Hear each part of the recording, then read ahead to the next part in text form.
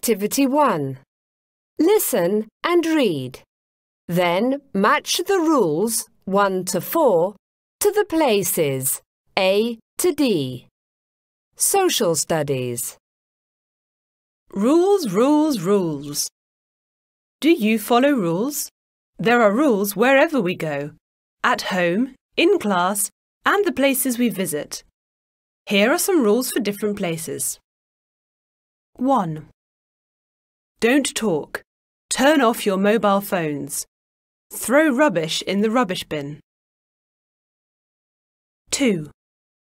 Read quietly. Don't eat or drink. 3. Have a shower before swimming. Don't run. 4. Don't touch the paintings. Don't take photos.